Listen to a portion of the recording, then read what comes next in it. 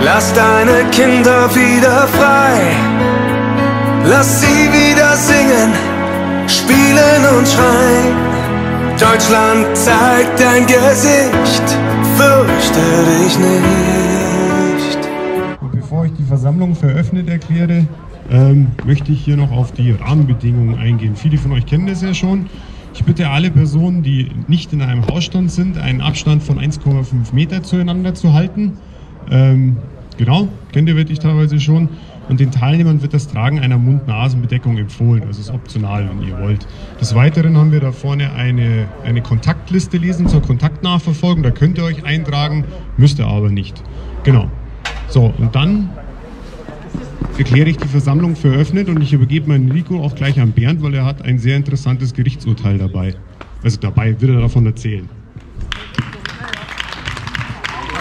Ja, grüß euch. Erst einmal muss ich mich bei dem Christian wieder bedanken, dass er heute wieder angemeldet hat. Bei euch muss ich mich bedanken, dass ihr wieder da seid. Ein paar werden hoffentlich noch kommen.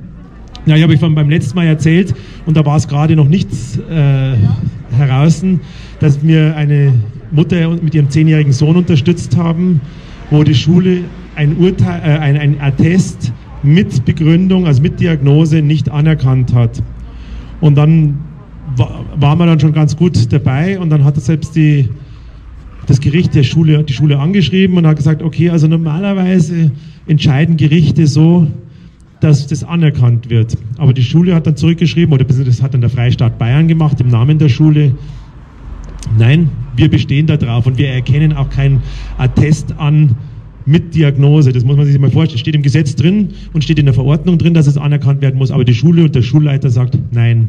Ich glaube, ich habe euch auch letztes Mal schon erzählt, äh, die pädagogischen Fähigkeiten dieses Schulleiters. Ich war da mal selbst mit vor Ort. Und dann hat er praktisch äh, den, den Jungen gefragt in der, in der Klasse, äh, warum trägst du keine Maske? Ich kann keine Maske tragen. Wo ist dein Attest? hier ist mein Attest, aber ohne Diagnose, das geht nicht. Dann hat er den vor der Klasse rausgeholt und nach Hause geschickt. Der Junge hat dadurch fast drei Wochen Unterricht äh, versäumt. Die Mutter hat jeden Tag hingeschrieben und gesagt, mein Sohn wird in die Schule kommen. Sie haben mir natürlich gedroht mit Ordnungswidrigkeit und Kindesentzug und allem Pipapo. Ihr könnt euch das nicht vorstellen. Aber wir haben ja auch manchmal Erfolg auf Alvedon, also es war genau nach der Versammlung hier, wie ich heimkomme, war das Urteil da und zwar in, aller, in jeder Hinsicht ein Sieg. Nicht nur so, dass der Junge ab von dem Zeitpunkt an wieder in die Schule gehen durfte und auf dem ganzen Schulgelände ohne Maske sein durfte, sondern der Streitwert wurde auf 5000 Euro festgelegt und der Freistaat Bayern darf das auch zahlen. Und da will ich euch einfach auch jeden ermutigen. Ich meine, es wird nicht jeder Prozess und es wird, oder, in dem Fall war es ein Eilantrag, äh, es wird nicht alles Erfolg haben, aber es hat eine Menge Erfolg. Ich kriege das momentan wirklich an allen Ecken und Enden mit, dass äh, die Gerichte sehr wohl, sehr wohlwollend sind. Also was heißt wohlwollend? Es geht gar nicht um Wohlwollen, sondern die Gerichte sprechen Recht. Und äh, in dem Rahmen, was die Gesetze zulassen, sprechen sie eher für die Kinder als wie gegen die Kinder. Und deswegen müsst ihr das nutzen. Es ist man muss zwar vielleicht Geld in die Hand nehmen, man muss einen Rechtsanwalt sich suchen. Es bleibt auch dabei, äh, meine Kontaktdaten habt ihr oder kriegt sie beim Christian auch. Wenn ihr wirklich mal was braucht, könnt ihr auch euch direkt an mich wenden, dass ich versuche für euch jemanden zu finden oder euch jemanden zu empfehlen. Aber eure Kinder sind alles, der, äh, alles Geld und alle Energie der Welt wert, weil das ist unsere Zukunft. Und es gibt mittlerweile äh, Kitas, wo ab drei Jahren bestimmt wird, dass Kinder eine Maske tragen müssen und wir müssen dagegen kämpfen und ich bitte euch da ganz fest, kämpft damit.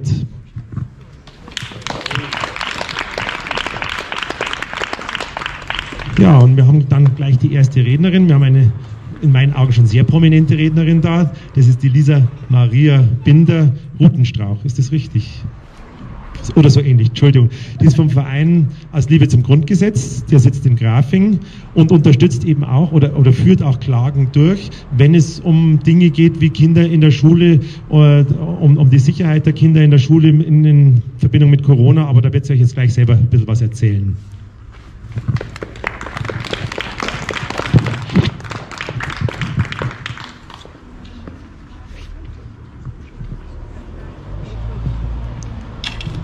Hallo, guten Abend zusammen. Dankeschön für die Einladung, lieber Bernd.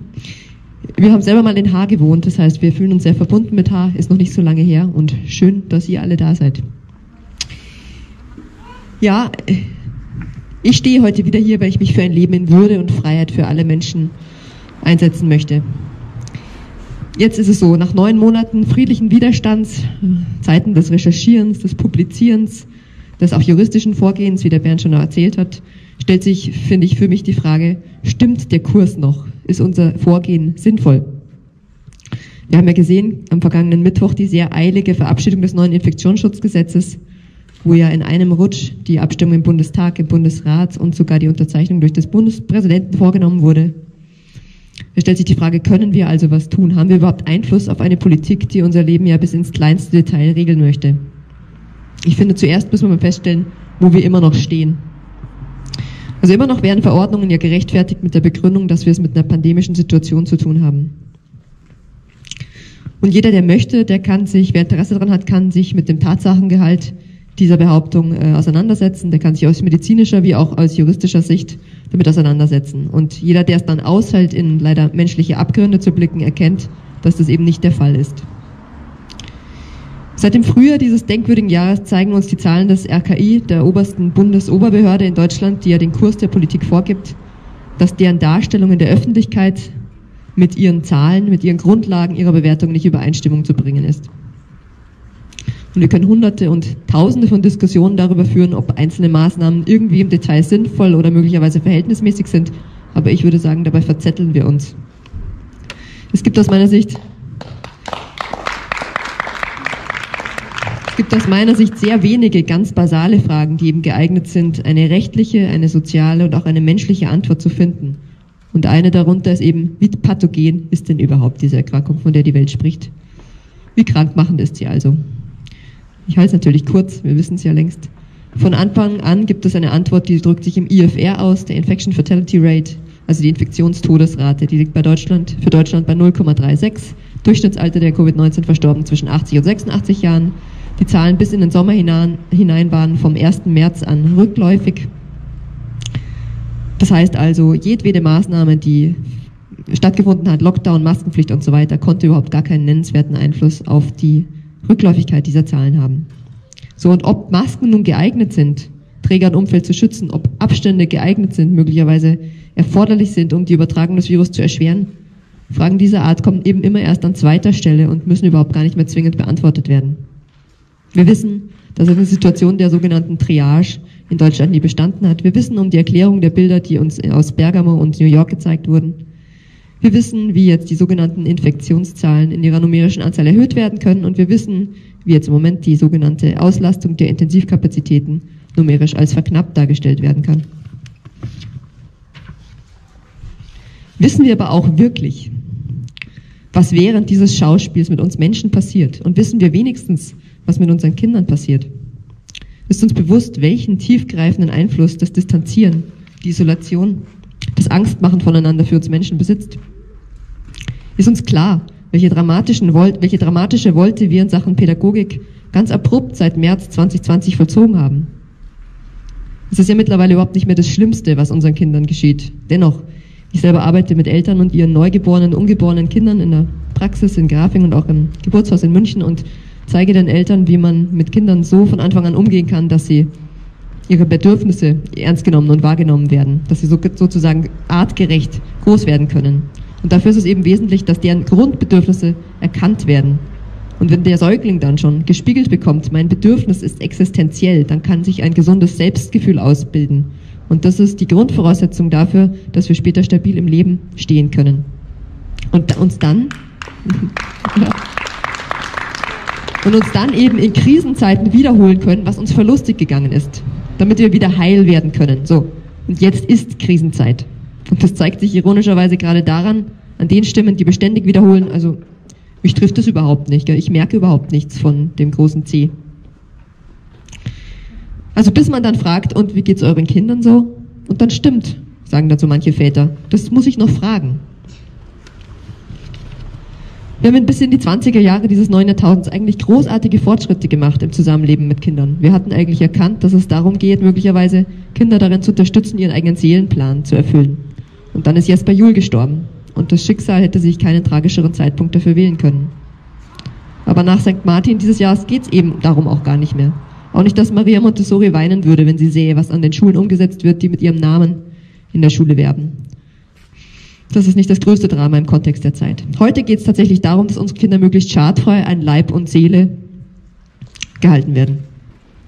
Ist uns also hinreichend bewusst, welchen schädlichen Einfluss das Bedecken unserer Gesichter für uns alle, aber besonders für unsere Kinder hat?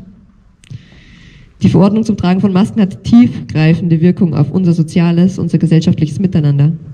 Und man muss nicht mal darum wissen, woher diese Ideen eigentlich stammen und an welcher Stelle sie sonst von Menschen eingesetzt werden, um zu erfassen, was sie mit uns Menschen und sozialen Wesen tun. Das geht, danke. Ähm, genau, ist uns also hinreichend bewusst, welchen schädigen Einfluss das Bedecken von Mund und Nase insbesondere für unsere Kinder hat. Freilich alle, alle paar Tage ploppen neue Informationen im Internet auf und Ärzte warnen und erklären. Ein Teil der Menschen spricht jetzt von diesem Argument mit dem Totraum, das natürlich zutreffend ist. Aber ist es uns wirklich bewusst? Also erinnern wir uns doch nochmal, Menschen brauchen, wie alle übrigen Wesen auf diesem Planeten, dem wir bekannt sind, Sauerstoff zum Atmen. Und wenn dieser uns nicht genommen wird mit einer absolut stichhaltigen Erklärung, dann müssten wir eigentlich allesamt dringlich sehr nachdenklich werden. Das Tragen von Masken ist bei Kindern kontraindiziert. Was heißt das? Das klingt ja irgendwie so harmlos. Das bedeutet, dass es aus medizinischer Sicht die Anwendung einfach ausgeschlossen ist. Die darf schlichtweg nicht angewandt werden. Das ist so wie bei Aspirin bei unter Zehnjährigen. Man weiß in der Pharmazie, wie gefährlich das ist und deswegen hält man es für absolut ausgeschlossen, dieses Risiko einzugehen, das Kindern zu verabreichen. Aber das ist noch nicht durchgedrungen zu allen Menschen, denn ich sehe Kinder, die Masken tragen. Ja, und was macht es mit uns, wenn ich sie jetzt konfrontiere mit diesen Tatsachen? Das zeigt uns ja nämlich unsere scheinbare Hilflosigkeit auf. Wir fühlen uns unfähig, eine gute Entscheidung zu treffen. Kinder sollen in die Schule gehen, sie sollen da diese Masken tragen, die Atteste werden nicht erkannt, wir wissen das ja alles. Und dann fühlen wir uns ausgeliefert und dann fühlen wir uns ohnmächtig. Und das ist das schädlichste aller Gefühle, die ein Wesen erleiden kann. Und jeder, der bereit ist dazu, der darf sich gerne mit diesen Mustern einmal auseinandersetzen. Und ich möchte daran erinnern, jede der Vorgehensweisen, die pandemisch seit 2020 auf diesem Planeten umgesetzt werden, erzeugt Ohnmacht. Jeder darf für sich selbst entscheiden, weshalb dies also vorgenommen wird. Jeder, der sich fragt und davon spricht, diese Maßnahme macht doch keinen Sinn, der darf jederzeit erkennen, dass von Anfang an keine der ergriffenen Maßnahmen Sinn gemacht hat. Darum kann es also überhaupt nicht gehen. Ich kann Ihnen berichten, also was aber tun, ist die Frage. Was können wir tun? Ich kann Ihnen berichten, ständig äh, werden juristische Vorgehensweisen geprüft und falls sie hinreichend erfolgversprechend sind, dann werden sie umgesetzt, auch von unserem Verein. Das machen also wir, das machen zahlreiche andere anwaltliche Gruppierungen. Und wenn nun aber in einer x-beliebigen Schule eine bestürzte Gruppe von Eltern sich zusammentut und scheinbar an einem Strang zieht, was passiert dann? Dann zeigt sich in Kürze folgendes Bild. Es herrscht Uneinigkeit, wie man vorgehen soll, und es herrscht Angst. Obwohl sich also viele Menschen der äh, Einschätzung anschließen, hier passt etwas nicht. Ja. Die umgesetzten Maßnahmen sind nicht verhältnismäßig, es muss sich etwas ändern. Dann gibt es den Willen und die Kraft zur Veränderung, möglicherweise bis hin zur Unterstützung von Initiativen, die etwas tun möchten, aber sie reicht selten bis dahin, persönliche Verantwortung zu übernehmen. Und das ist ein menschlich erklärbares, nachvollziehbares Verhalten, weil man ja abwägen muss, äh, welche Konsequenzen das nach sich zieht, wenn man also sich hier zum Beispiel in die Öffentlichkeit stellt. Es ist ebenso erklärbar und nachvollziehbar, dass Solidarisierungen stattfinden, wo sie menschlich nicht schlüssig sind, aber sie sind eben auch Ausdruck von zweierlei Dingen. Erstens, dem Schutz des eigenen Selbst durch Solidarisierung, durch dem Gemeinwachen mit Personen, die einen schädigen, zum Beispiel mit Schulleitern. Dieses Phänomen ist in der Psychologie hinreichend bekannt. Und zweitens ist es Ausdruck davon, dass man sich eigentlich selbst der Verantwortlichkeit entzieht. Ja, denn, und dabei bleibe ich, diese Verordnungen wären allesamt nicht möglich gewesen, hätte das Volk gemeinsam gesagt, nein, wir machen nicht mit.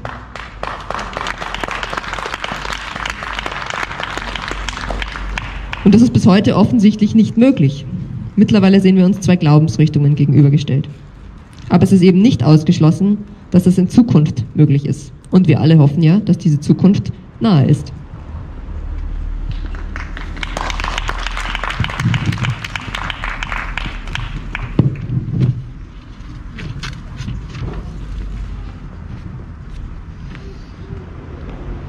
Für mich ist es klar, nach monatelangem Recherchieren, Einordnen, Reflektieren, Diese Situation fordert uns überhaupt nicht nur juristisch und medizinisch, intellektuell und sozial. Ich glaube, sie fordert uns letztlich in einer ganz spirituellen Weise. Wer es aushält, die Demaskierung unserer Entscheider nüchtern zu betrachten, der sieht, dass die gewählten Strategien und deren Umsetzung mit einer durchschnittlich menschlichen Regung überhaupt gar nicht mehr zu erklären ist. Daraus leitet sich also eine Aufgabe ab. Jeder Mensch darf erkennen, lernen, wo seine eigene rote Linie verläuft, die über, also um gar keinen Preis überschritten werden darf. Und wenn das dann geschehen ist, dann gilt es im nächsten Schritt, Nein zu sagen. Das kostet unendlich viel Kraft. Kraft, die, die Diffamierung auszuhalten, die Ausgrenzung, den eigenen Zweifel, die Trauer und die Ohnmacht. Und trotzdem möchte ich Sie konkret im Mindesten dazu ermuntern, Nein zu sagen, wenn es um die grundsätzlichsten Bedürfnisse Ihrer Kinder geht. Denen, die noch vor denen stehen, einfach nur zu spielen, sich zu entwickeln, Freunde zu treffen und unbeschwert zu sein. Ich spreche von den Grundbedürfnissen, Sauerstoff zu atmen und CO2 abzuatmen. Denn ja, Kopfschmerzen und Schwindel sind beim Maskentragen nur ganz eventuell Ausdruck von Verspannungen oder anderen Dingen, sondern halt ziemlich plausibel der einer beginnenden CO2-Vergiftung. Da spricht man von der Hyperkapnie. Und ich ermuntere weiterhin diejenigen Menschen zu adressieren, die Maßnahmen umsetzen. Jeder, der auf seine persönliche Nichtverantwortung hinweist, sei es in Geschäften, in Unternehmen, am Arbeitsplatz, in den Kirchen oder eben in den Schulen und auch in den Kindergärten, es ist geradezu ein immanenter Ausdruck eines Unrechtssystems, dass es nur gelingt, wenn Menschen es stützen. Und jeder Mensch, der nicht Nein sagt, sondern mitmacht, bildet die Grundvoraussetzung dafür, dass das Unrecht sich perpetuiert. Und wenn Sie mich fragen, ja, soll mein kleiner Beitrag angesichts der Übermacht der globalen, des globalen Agierens sein, dann möchte ich Ihnen nur antworten, wenn genügend Menschen aufstehen und ihre roten Linien aufzeigen, dann bricht das System zusammen.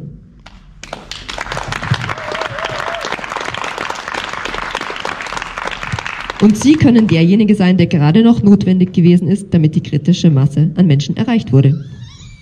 Wir alle sind in der Verantwortung. Also zeigen wir doch unsere Offenheit für den Dialog. Suchen wir weiterhin den Diskurs. Seien wir einfach Vorbild für das, was wirkliche Solidarität ist. Und bewahren wir unsere Haltung. Unsere Verantwortung erstreckt sich für unsere eigene, auf unsere eigene Gesundheit, auf unsere Kinder, auf unsere Politik, auf den Zustand auf unserer Erde. Es führt also überhaupt gar kein Weg daran vorbei, übernehmen wir sie, die Verantwortung. Herzlichen Dank.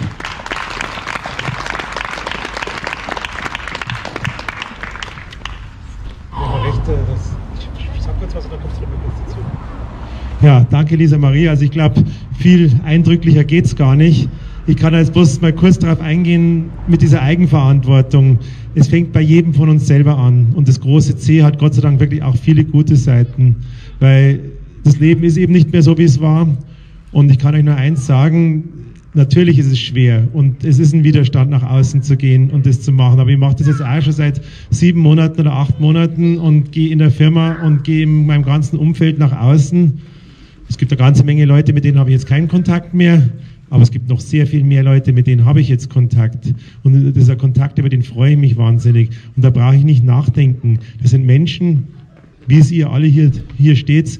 Da braucht man nicht überlegen, Sage ich da jetzt das Richtige? Sage ich das Falsche?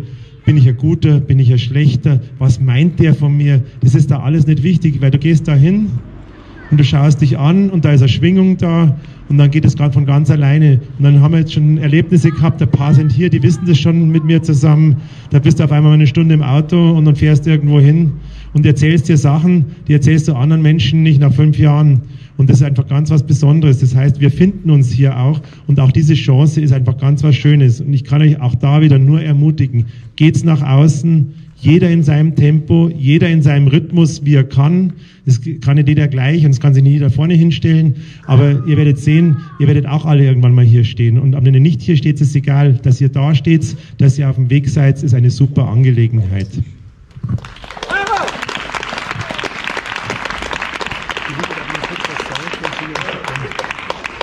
Die Lisa Marie darf noch mal ein bisschen was über ihren Verein in Grafing sagen, weil das, äh, dass ihr da auch mal ein bisschen erfahrt, was da geht, weil da könnt ihr euch nämlich im Zweifelsfall auch mal hinwenden. Darf ich das Wort nochmal an dich geben, bitte? Genau, noch kurz etwas zu unserem Verein. Das ist der Verein aus Liebe zum Grundgesetz, den habe ich zusammen mit Mitstreitern und freundlichen Nachbarn in Grafing im Mai dieses Jahres gegründet. Wir, der Vereinszweck ist, wir sammeln Spenden eben zur Beschreitung des Rechtszwecks gegen die aus unserer Sicht rechtswidrigen, möglicherweise verfassungswidrigen, menschenrechtswidrigen Verordnungen. Und ähm, wir haben schon einiges an Geld zusammengesammelt und haben auch schon einige Dinge getan. Anfragen ans RKI, ans BMG, ähm, die noch ausstehen, beziehungsweise wir haben nur so halbscharige Antworten bekommen. Da müssen wir jetzt vermutlich äh, Klage einreichen, damit wir die Antworten erhalten. Und das andere ist eine Klage gegen eine Isolationsmaßnahme einer Dame, die auch zur Testung gezwungen wurde. Das ist jetzt im Moment vor Gericht anhängig. Wir warten eigentlich in den nächsten Tagen auf die erste Rückmeldung. Genau, ich habe vorne auf den Tisch Flyer hingelegt. Da freue ich mich, wenn Sie die mitnehmen wollen, gerne auch weiterverteilen. Und natürlich freuen wir uns, wenn wir unterstützt werden, denn es sieht so aus, als ob wir noch ein bisschen durchhalten müssten und noch ein paar Euro äh, gut gebrauchen könnten. Dankeschön.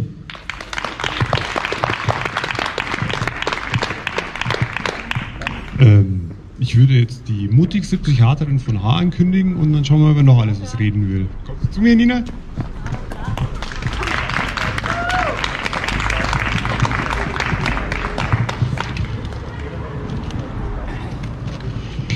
Hallo, jetzt kann ich besser sprechen als das letzte Mal, gell, da war ich so weit weg vom Mikro. Liebe Eltern und Großeltern, liebe besorgte Mitbürgerinnen und Mitbürger.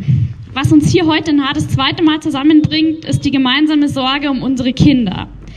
Ich selbst lebe jetzt schon ungefähr seit 20 Jahren in Haar und habe unter anderem einen Sohn, der in die dritte Klasse geht, in die Ganztagesklasse in der St. Konrad Schule und der am Beginn der Maßnahmen dazu gezwungen war, acht bis neun Stunden am Tag eine Maske zu tragen. Inzwischen sind es immerhin nur noch sechs Stunden.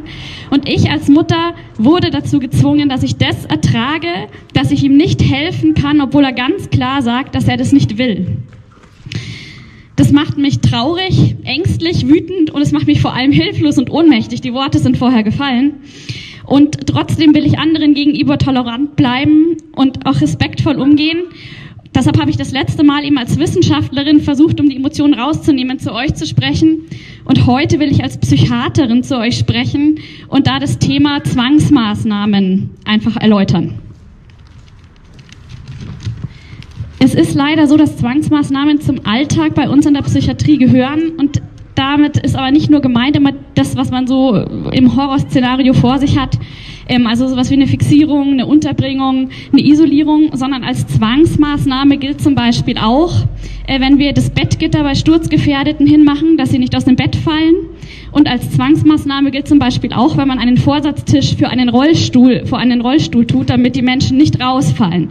Wenn man das regelmäßig anwendet, ist es eine Zwangsmaßnahme, weil derjenige, also wenn er nicht zustimmt, ähm, also alles, was sozusagen irgendwie eingreift in die Gesundheitsentscheidung, ist eine Zwangsmaßnahme, wenn nicht die ausdrückliche Zustimmung vorliegt wir Ärzte stehen dann immer in dem ethischen Dilemma, dass wir einerseits eine Fürsorgepflicht haben für den anderen.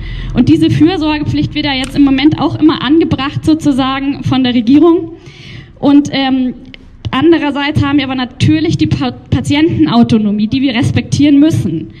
Da äußern sich auch große Gesellschaften wie die DGPPN, die sagt, Selbstbestimmung ist ein Menschenrecht. Jeder Mensch hat das Recht, über seine Lebensführung und damit auch über Maßnahmen, die seine Gesundheit betreffen, selbst zu bestimmen.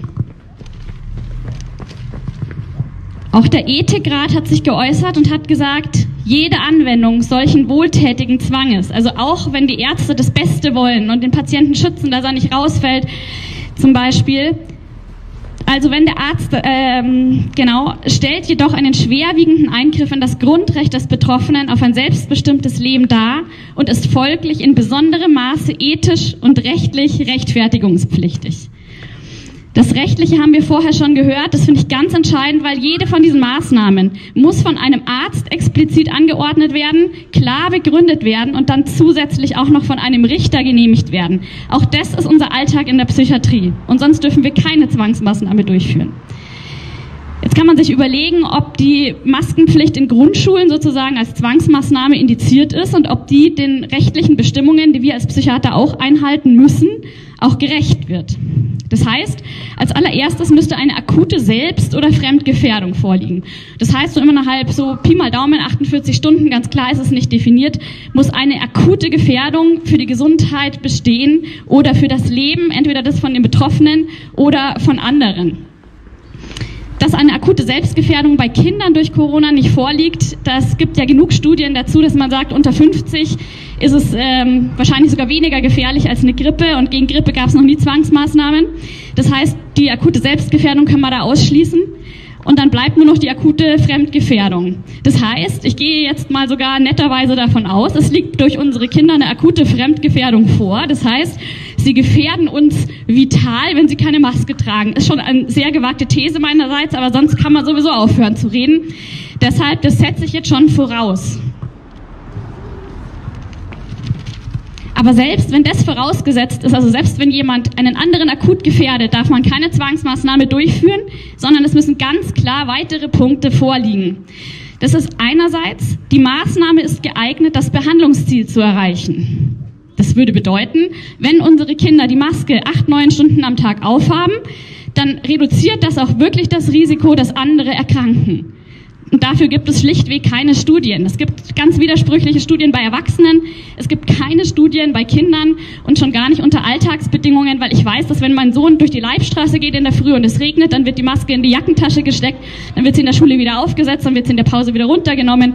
Das heißt, ob unter diesen Voraussetzungen ein Schutz vor Corona vorliegt, das hat noch niemand erbracht. Ich bezweifle das auch. Ähm, und ähm, es gibt ja sogar Studien, die sagen, es kommt eher zu einer Zunahme des Risikos durch die Maßnahme. Das andere wäre, mildere Mittel sind nicht erfolgversprechend. Und das ist garantiert nicht der Fall. Das wissen wir. Es gibt Plexiglasscheiben, es gibt Luftfilter, es gibt Abstände.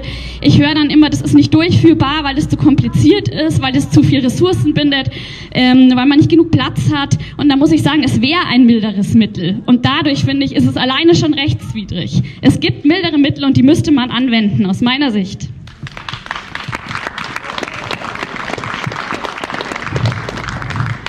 Nächster Punkt, zu dem habe ich letztes Mal schon etwas gesagt. Der zu erwartende Nutzen überwiegt die Beeinträchtigungen deutlich. Ich habe ja gesagt, der Nutzen ist unklar, aber noch viel krasser finde ich, dass wir überhaupt nicht wissen, was für Beeinträchtigungen auf unsere Kinder zukommen. Und zwar nicht nur jetzt, sondern vielleicht auch in 10 oder 20 Jahren, weil wir wissen, dass zum Beispiel die Sterblichkeit von Depressionen deutlich höher ist als von Corona. Also Corona sagt man immer 0,2 Prozent ungefähr Sterblichkeit. Wir wissen, dass 2,2 Prozent der depressiven Patienten durch Suizide versterben. Das ist das Zehnfache. Das andere ist Art und Dauer der Behandlungsmaßnahme wird auf das zwingend erforderliche Maß beschränkt. Ich glaube, da kann ich jetzt, also wenn das bedeutet, acht, neun Stunden müssen die Kinder eine Maske auf der Nase haben, dann muss ich sagen, das ist garantiert nicht das zwingend erforderliche Maß dafür.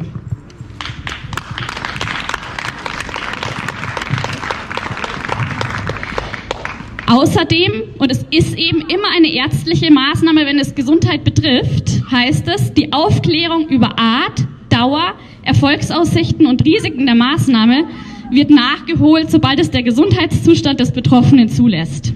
Bedeutet jetzt für mich zwei Dinge. Einerseits, jeder von uns müsste aufgeklärt werden. Was ist, was bringt diese Maske? Wie lange muss man diese Maske aufsetzen? Mit welchem Erfolg müssen wir die Maske aufsetzen und welche Risiken birgt die Maßnahme. Und dass das schlichtweg nicht bekannt ist, ich habe keine Aufklärung darüber erhalten. Das andere ist aber auch, sobald es der Gesundheitszustand des anderen zulässt. Und ich bin der Meinung sozusagen, wir gehen in der Psychiatrie davon aus, dass bei jedem, wo so eine Zwangsmaßnahme durchgeführt wird, eine mangelnde Einsichts- und Steuerungsfähigkeit vorliegt und derjenige nicht in der Lage ist, seinen, seine Meinung und seinen Willen frei zu bilden und kundzutun. Das ist die Voraussetzung.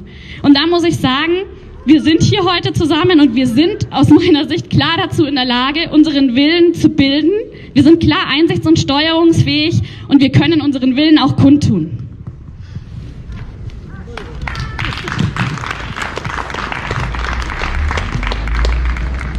Kurz zusammenfassend kann man sagen, das waren sozusagen die Punkte, die klar vorliegen müssen.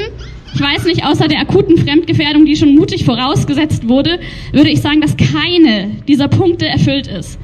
Das heißt, aus meiner Sicht als Psychiaterin würde ich sagen, es ist eine rechtswidrige Maßnahme. Wir haben keine Indikation für eine Zwangsmaßnahme, schon gar nicht bei Kindern, weil wir in der Medizin auch ganz klar die Prämisse haben, wir müssen Kinder in besonderem Maße schützen. Und da gelten noch viel krassere, das sind jetzt die aus der Erwachsenenpsychiatrie. Zwangsmaßnahmen in der Kinder- und Jugendpsychiatrie müssen noch viel krasser ähm, sozusagen behandelt, werden noch viel krasser behandelt und müssen klarer noch abgesegnet werden.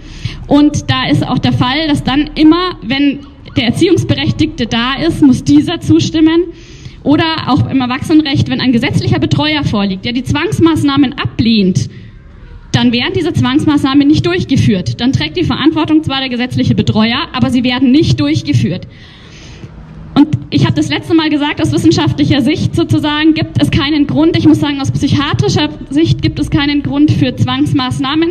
Und deshalb bitte ich alle wieder, den Kopf einzuschalten. Ich habe das Gefühl, im Moment ist nur Angst, klares Denken. Was habe ich mir angehört? Ähm, dass ich bin mangelnd, äh, respektvoll und äh, es gab noch so ein paar Dinge, wenn ich diese Meinung, die ich hier habe, kundtue.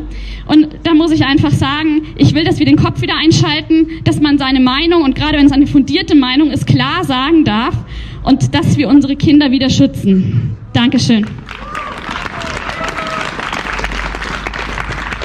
Vielen Dank. Die war noch besser als deine erste Rede.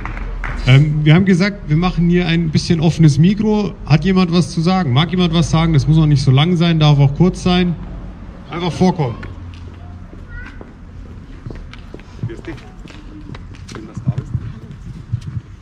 Hallo ihr Lieben, die, hört man mich ja? Hallo ihr Lieben, die, äh, die ihr hier alle versammelt seid. Kurz etwas zu meiner Person, wieso ich hier stehe. Ich bin Mutter von zwei wunderbaren Kindern. Ich bin weder eine äh, Rechtsradikale, mein Mann ist Ausländer, wie wir ja mittlerweile, wir Querdenker, ähm, die anders denken oder Sachen hinterfragen, betitelt werden. Ich bin auch äh, keine Verschwörungstheoretikerin oder ich bin auch keine Corona-Leugnerin. Aber wer ich bin, ich bin eine verantwortungsvolle Mama, die sich unglaublich Sorgen macht. Wieso mache ich das? Wieso stehe ich hier? Oder bin der Meinung, dass das nicht okay ist? Ich bin Interior Planungsdesignerin bei einem Weltkonzern und ich erlebe seit der ersten Stunde an, seitdem es Pflicht war, äh, Maske zu tragen, erlebe ich es, eine Maske tagtäglich zu tragen. Und zwar zwischen sechs und acht Stunden tue ich das, weil ich permanent mit Kunden zu tun habe. Und am Anfang hat man die Folgen, was es bedeutet, permanent als Erwachsener schon eine äh, Maske zu tragen. Ich rede gerade über das Verhalten bei Erwachsenen. Es ist gar nicht auszumalen, wie es bei den Kindern ist. Ich erlebe mittlerweile, was es ausmacht. Am Anfang hat man nicht gesehen, als alle äh, Mitarbeiter in unserem Weltkonzern die Masken getragen haben, dass es irgendwelche Schäden von sich trägt. Mittlerweile, fast sechs Monate später, kann ich nur sagen, bei uns fallen die Leute reihenweise um. Wir haben einen Krankheitsstand, wie wir es noch nie in unserer Konzerngeschichte hatten. Die Leute sind aber nicht krank wegen Corona oder anderen Sachen, sondern sie sind krank, weil sie anscheinend durch ihre Kopfschmerzattacken, die, äh, unter die mittlerweile jeder leidet, durch Schwindelanfälle, durch Zusammenbrechen, durch Zitteranfälle, durch verdicktes Blut, was teilweise bei Untersuchungen rauskommt. Deswegen sind die Leute krank. Die Leute, die Leute bei uns im Konzern, sind auch nicht nur äh, leiden nicht nur unter diesen Symptomen, sondern was sich mittlerweile äh, bemerkbar macht, äh, mittlerweile schlägt es bei den Leuten auf die Psyche und ich kann dazu sagen, ich habe pro Woche circa sehe ich ungefähr 5000 Menschen, ja, die an mir vorbeilaufen teilweise auch oder die ich durch Glasscheiben sehe. Aber die Tatsache ist die, was ich beobachte, nicht nur bei unseren Mitarbeitern, sondern auch bei den Leuten, die natürlich bei uns auch die Masken tragen müssen, ist Folgendes. Die Leute fangen an, depressiv zu werden. Ihre, ihr ganzes Verhalten verändert sich tagtäglich. Die Leute, wie die Psychologin Nina schon gesagt hat, fangen anscheinend an, unter Depression zu leiden. Er schlägt dermaßen auf die Psyche, und die Tatsache ist einfach die, was mir bei dieser ganzen Geschichte ganz gewaltig fehlt, wenn es um unsere Kinder geht, die im Wachstum sich befinden, deren Gehirnsynapsen, alles von denen wächst noch, ja, deren Lungen wachsen, alles an denen die Zellen wachsen, alles, alles, alles, die brauchen viel mehr Lungenvolumen als wir, die, die, die äh, können so wie wir Erwachsene noch gar nicht einschätzen, äh, wenn sie sich schlecht fühlen was sie sozusagen, wie sie reagieren sollen. Und was mir sozusagen bei der ganzen Sache fehlt, ist einfach die Studie, was wirkt es langfristig bei unseren Kindern aus, gesundheitlich.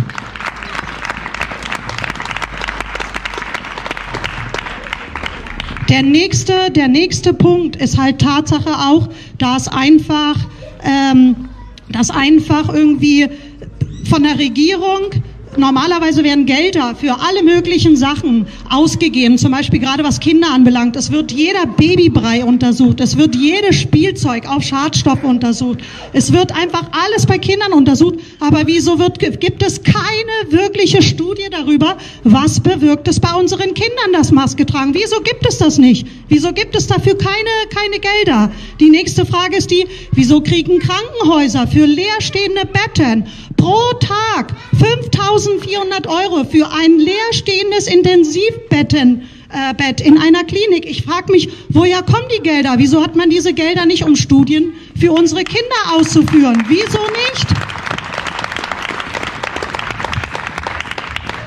Tatsache ist, ähm, ich möchte euch einfach als Mama, ich bin keine Ärztin, ich kann euch nicht sagen, was was anrichtet, aber was ich euch sagen kann, ist, ich kenne euch nicht, dennoch fühle ich mich mit euch sehr, sehr verbunden, weil ihr genauso wie ich hier steht.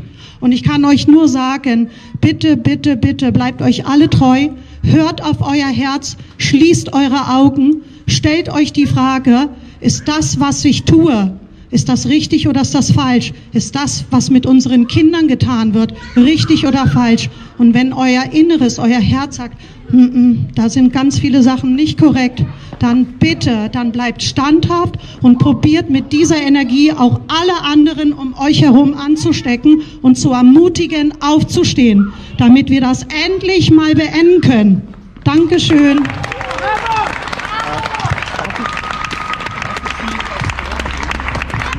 Äh, ich möchte Sie gerne etwas fragen. Und zwar, Sie haben gesagt, Sie arbeiten in einem großen Konzern. Äh, mich würde interessieren, wie verhalten Sie sich in dem Konzern? Und äh, was mich auch interessieren würde, gibt dieser Konzern, dieser Belegschaft, die immer kränker wird, gibt, haben diese Menschen eine Chance in dem Konzern? Gibt, äh, ist der Konzern, ja, Sie verstehen. Okay, also ich möchte diese Frage beantworten. Ich habe das große Glück wenigstens, dass der Konzern, in dem ich arbeite, ich möchte ihn jetzt einfach nicht nennen, weil ich äh, gehört habe, dass das wohl rechtlich nicht erlaubt ist. Äh, ich kann euch nur sagen, der Konzern, wo ich arbeite, ist relativ relativ sozial. Das heißt, uns wird eingeräumt, wenn es uns nicht gut geht. Wir dürfen sofort an die frische Luft gehen. Ähm, es wird wirklich darauf geachtet, dass wirklich angebliche Risikopatienten äh, sozusagen ins Homeoffice geschickt werden. Und wie wir uns verhalten ist, oder ich mich verhalte, ich habe ein Pulsoximeter. Und sobald ich merke, ich fühle mich selber auch unwohl, setze ich den an. Und wenn ich merke, ich habe zum Beispiel erhöhten Puls oder irgendwas, das passiert durchs Maske tragen. Jeder sollte sich einfach mal gönnen, äh, so, so, so äh, einen kleinen Pulsoximeter zu kaufen und den mal selber an seinen Finger ansetzen, dann sieht er schon, was es bewirkt. Und ich setze den an und dann weiß ich sofort, alles klar, ich unterbreche, ich mache Pause, ja. Und ich muss sagen, der, der, ähm, unser Arbeitgeber ist da noch relativ kulant, aber so wie ich das von sehr, sehr vielen mitkriege, ist das natürlich nicht gang und gäbe in der Schule, weil da tragen die Kinder, ja, oder wo auch immer das ist, einfach die Masken weiter. Und das Ding ist ja auch in einer Schule jede äh, Lehrerschaft tickt ja anders. Da gibt's ja wirklich welche, die die Kinder zwei Stunden lang Sport machen lassen oder äh, mittlerweile ist es ja, glaube ich, untersagt. Ähm, aber die zum Beispiel die Kinder vier Stunden lang unterrichten, bis sie das erste Mal die Maske absetzen dürfen. Das ist natürlich sehr variabel. Ich persönlich kann halt nur sagen, ich glaube, da sollte viel mehr an den Schulen eingefordert werden, dass da wirklich kontinuierlich darauf geachtet wird. Alle, alle halbe Stunde sollte eigentlich eine Pause stattfinden. Ich glaube, das wäre erstmal der erste Weg dorthin.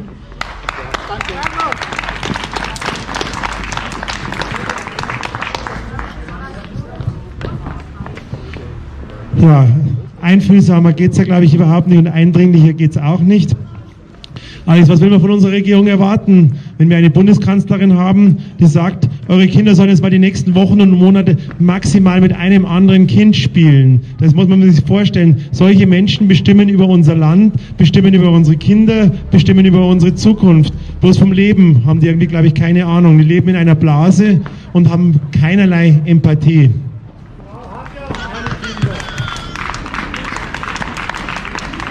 Aber deswegen, so, so sehr wie uns das auch wieder angeht, ich kann immer wieder bloß darauf hinweisen, das, was in uns ist, ist viel wichtiger. Und auch das, was wir, jeder Einzelne tut, wie jeder Einzelne von uns agiert. Und viele Menschen, ich habe heute wieder zwei bei mir im Büro stehen gehabt, die zwar gesagt haben, na ja, du hast da schon recht, aber ja, ich kenne da einen oder da ist das, die sind halt nicht so weit. Die müssen halt noch das glauben, was in der Tagesschau oder in, in, in der, im ZDF in, in heute oder sonst was kommt.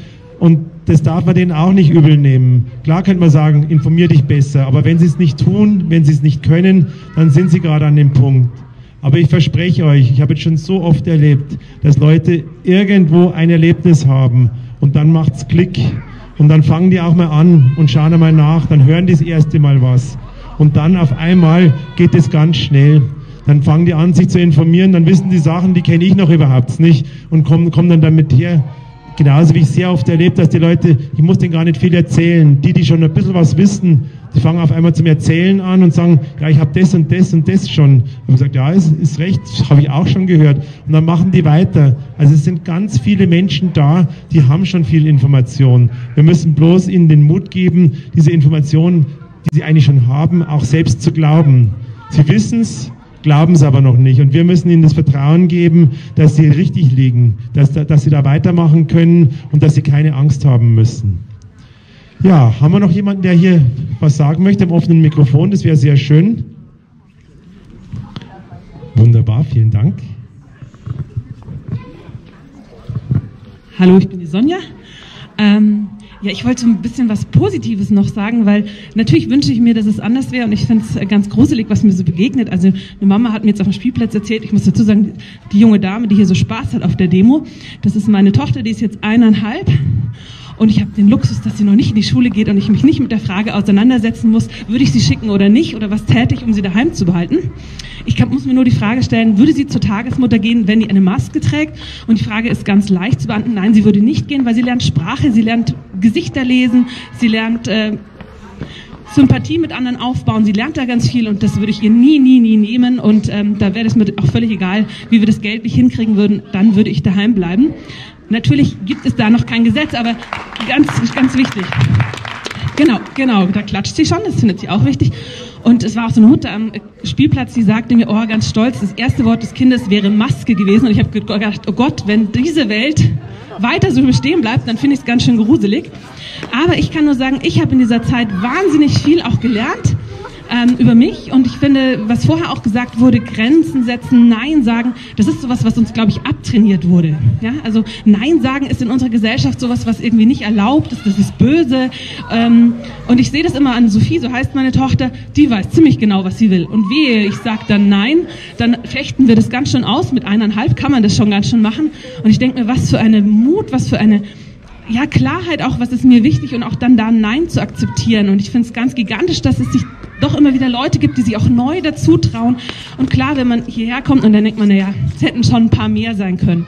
Auf der anderen Seite ist es sozusagen, ihr steht hier und ich stehe hier und wir halten es aus, dass jemand anders sagt, deine Meinung finde ich total blöd oder warum gefährdest du mich oder ähm, warum bist du anderer Meinung? Aber ich denke, das ist so die Riesenchance. Wir dürfen so richtig erwachsen werden in dieser Zeit. Wir dürfen sagen, nee, Grenze wurde es vorhin genannt.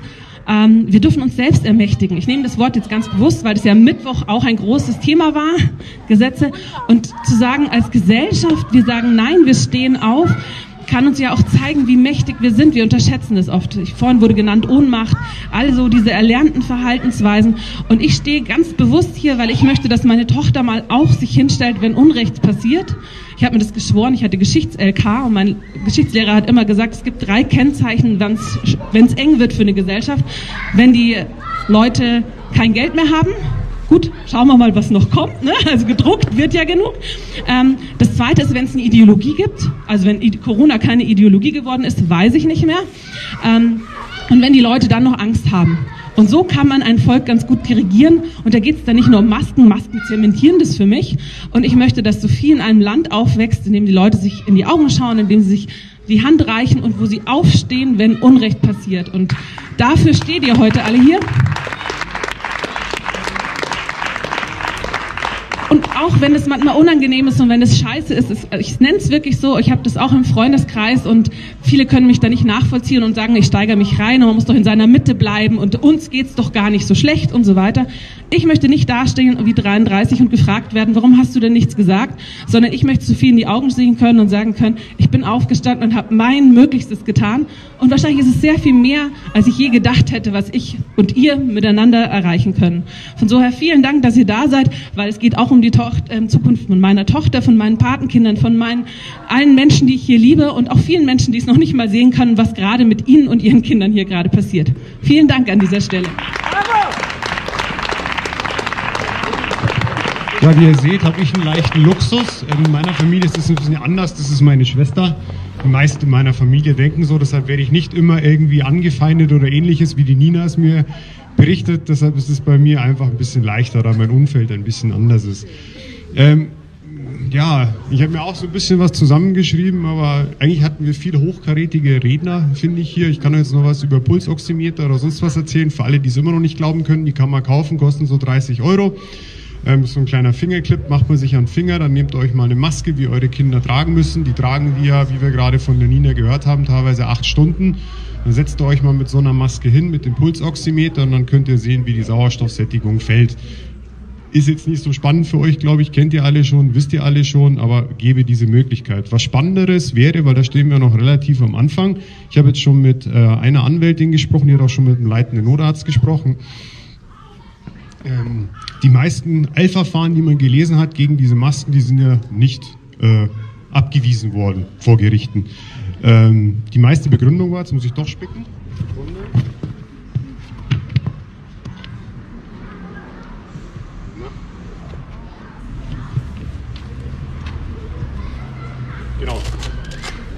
Äh, die Begründung war, das ist ja eigentlich genau dieses, die Perversion, nenne ich jetzt mal. Es gibt ja bis jetzt keine Kinder, die quasi Probleme haben. Ja, wir haben ja auch keine Studien drüber. So haben wir auch keine Kinder, die Probleme haben. Super, sehr intelligent gemacht. So, ähm, die Gerichte haben aber auch gesagt, das kann man auch nachlesen, wenn Probleme auftreten, dann kann man wieder vor die Gerichte ziehen. So, das heißt jetzt aber, das ist ein bisschen mehr Aufwand, vor allem die, die Eltern sind und auch Kinder haben, die Probleme haben. Das heißt Nasenbluten, Kopfweh. Es geht ja nicht nur um, um ähm, physische, also körperliche Dinge, die die Kinder haben, sondern auch psychische. Es gibt ja Kinder, die wollen jetzt schon gar nicht mehr in die Schule gehen, kriegen Schreikrampf. Nina hat ja schon zum Beispiel bis zu dich, dass ihr Sohn gar nicht mehr hingehen will. Da kann man sich auch mal mit einem Zinder Psychiater drunter, über unterhalten. Ähm, und dann müsste man ein sogenanntes vitales Gutachten erstellen lassen, hieß es. Und damit müsste dann über einen Anwalt vor Gericht gehen. Leider ist es ein längerer Weg und er wird nicht einfacher. Ich habe mich jetzt nachher mit der Dame ähm, aus Liebe zum Grundgesetz unterhalten, weil ich sehe für mich, ich versuche immer Leute anzurufen, sie zu motivieren und irgendwas zu machen, aber die glauben, das geht immer wieder weg und es wird wieder besser. Nein, das wird es nicht. Wir müssen für unsere Kinder aufstehen, wir müssen für sie einstehen und wir müssen etwas tun. Und egal wie lange das dauert, ich werde da auch weitermachen.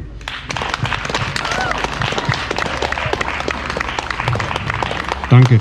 Wie gesagt, die ganzen anderen Sachen, die ich mitgebracht habe, ich brauche jetzt nicht erzählen, dass es auch Ärzte gibt, die genau der gleichen Meinung sind wie die, wie wir hier stehen.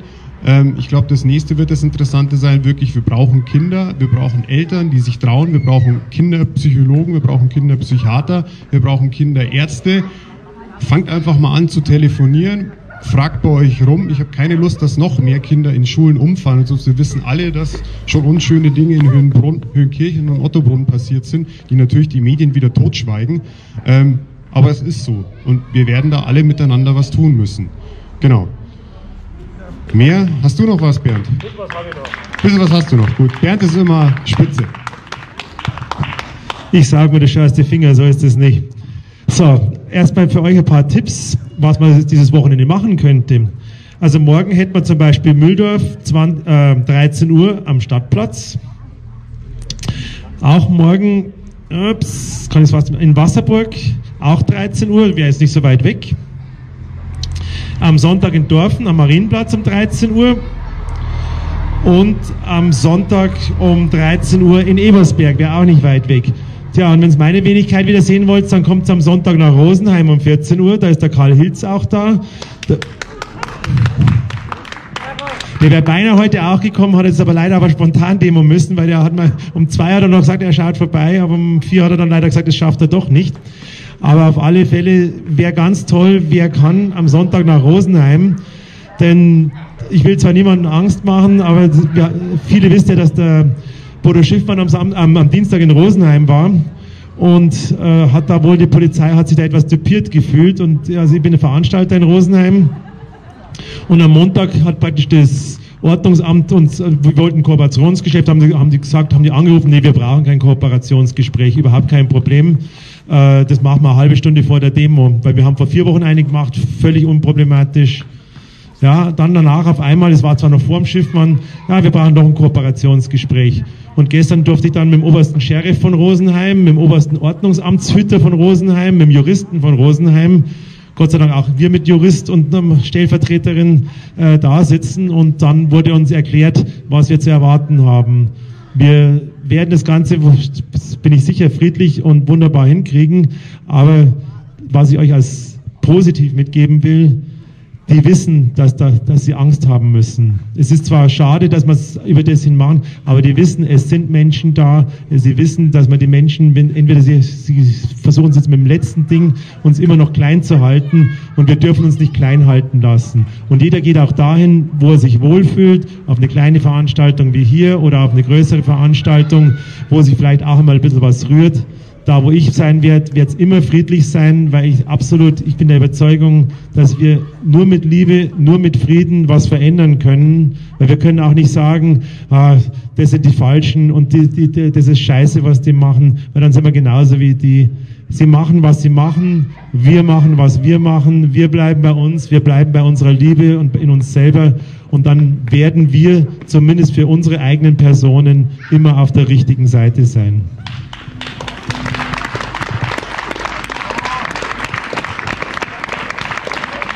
Ja, gibt es noch jemanden, der vielleicht zu irgendeiner Veranstaltung was sagen möchte? Oder auch von seinen eigenen Erfahrungen? Weil das habe ich, das hab ich jetzt immer wieder gesehen.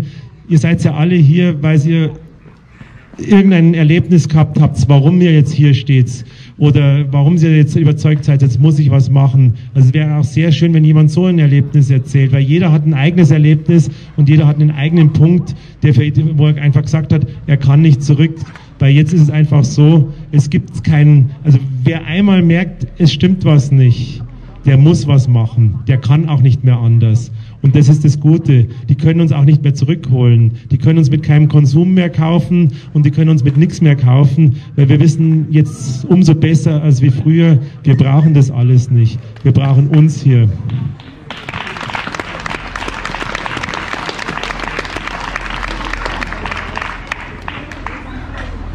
Ja, wo ist jetzt der Christian? Da ist der Christian.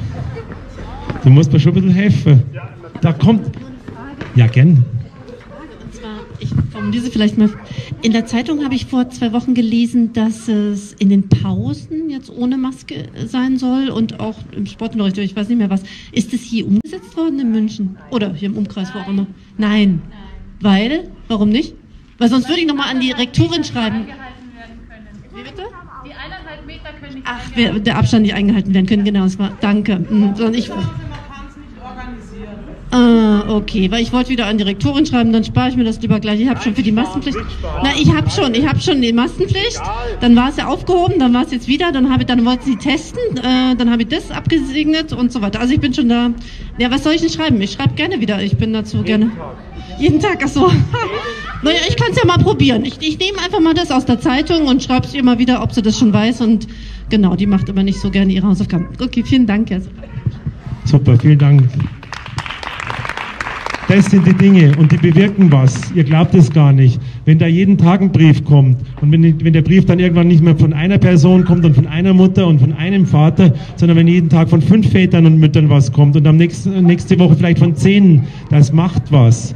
Und da, die, die haben ihren Rahmenhygieneplan. Ich, mein, ich bin auch so. Ich will keinen Rektor und keinen Lehrer in Schutz nehmen. Aber was unsere Regierung macht, ist eigentlich die größere Sauerei. Die haben einen Rahmenhygieneplan für die Schulen aufgestellt und sagen halt zu den Schulen, setzt es um. Und wenn, wenn dann irgendein Ausbruch in einer Schule ist, dann heißt, ihr habt was verkehrt gemacht, sondern ihr seid sehr verantwortlich für eure Schule. Und das ist die Sauerei. Unser Staat macht uns hier Gesetze, beziehungsweise Gesetze macht er ja noch nicht mal, auch wenn er es jetzt gerne möchte, wie letzten Mittwoch, sondern sie machen Verordnungen und sagen, mit den Verordnungen schaut jetzt, wie es zurechtkommt. Und auch das ist vielleicht mal nochmal für die Maske. Das ist ein ganz wichtiger Punkt, weil das ändern sie eben nicht und das hat einen ganz einfachen Grund, warum sie sich nicht ändern.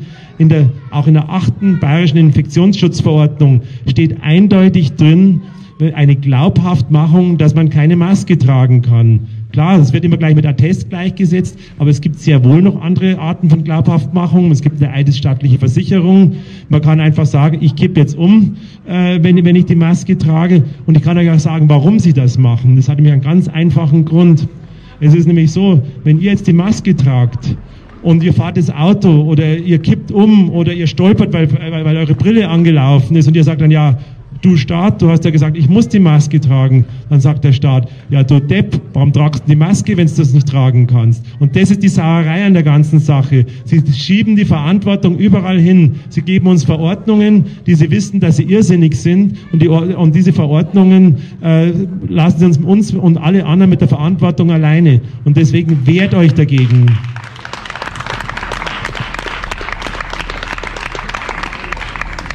Und ich kann es immer wieder nur betonen, Wehren funktioniert. Und ihr werdet sehen, wie viele Menschen auf euch zukommen. Also ich, was ich die letzten Wochen erleben darf, das ist echt unfassbar, wer alles auf mich zukommt. Ob das in der Tiefgarage ist, dass der Nachbar daherkommt und, und wenn ich sage, du, Sonntag haben wir Demo in Rosenheim, hat er gesagt, ja, ja, das weiß ich schon. Und du, ich bin stolz drauf, dass du das machst. Von Leuten, wo ich überhaupt nicht rechne damit.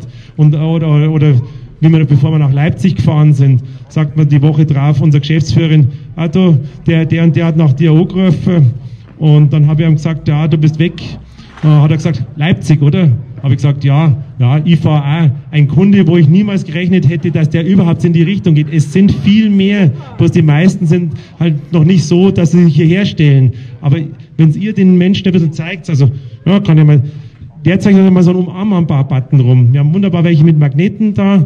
Dann weiß schon mal jeder, oh, den kann ich vielleicht ansprechen. Der denkt auch so. Das ist völlig unverfänglich und sorgt aber nach außen hin halt schon, ja, ich bin umarmbar. Und ihr glaubt's gar nicht. Also ich kann es den Männern vor allem empfehlen, ihr werdet oft umarmt.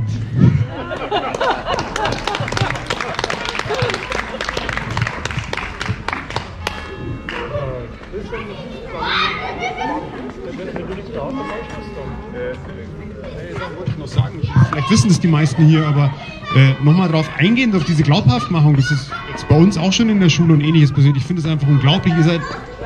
Lauter. Lauter. Ihr, ihr, seid erwachsene Menschen. So, wir erzählen unsere Kinder, also ich versuche die gut zu erziehen und ich sage meinen Kindern, der Lehrer ist natürlich deine Respektperson. Ähm, das hat so, das passiert dann natürlich, wenn der Lehrer zu den Kindern sagt, du nimmst, trägst die Maske, dann trägt er die Maske, bis er umfällt. Glaubhaftmachung äh, funktioniert da nicht. Wir hatten eine WebEx ähm, Meeting mit dem Landrat Göbel, da habe ich ihm auch nochmal erklärt, was eben in diesem Infektionsschutzgesetz drinnen steht, was auch der Bernd sagt, da könnt ihr auch gerne mal zur Polizei gehen und fragen, die werden euch das auch bestätigen. So, Jetzt könnt ihr euch mal vorstellen, so ein kleiner sechsjähriger Knirps wie mein Sohn zum Beispiel sitzt in der Schule, dem wird schwindlig, dem wird schlecht, der nimmt die Maske ein Stück ab. So, in der Zwischenzeit haben die meisten Lehrer so viel Angst, weil sie sich überhaupt nicht informieren.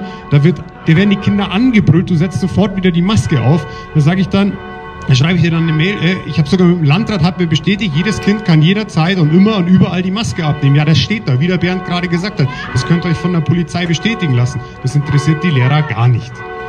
Aber ich glaube, die meisten von euch, die können, die wissen das. Ja, soll ich jetzt noch loswerden? Will jemand noch was sagen? Sonst bedanke ich mich recht herzlich, dass ihr alle gekommen seid. Wir werden